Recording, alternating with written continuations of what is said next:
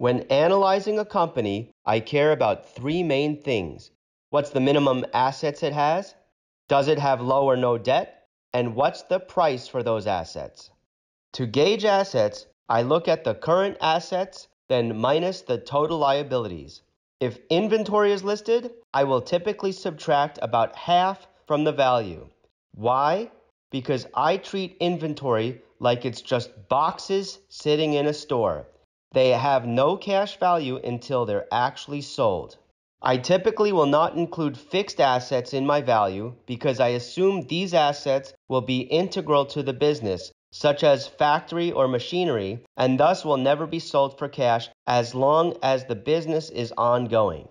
If there are long term investments like stock holdings, I might consider adding 25 to 50% to the value.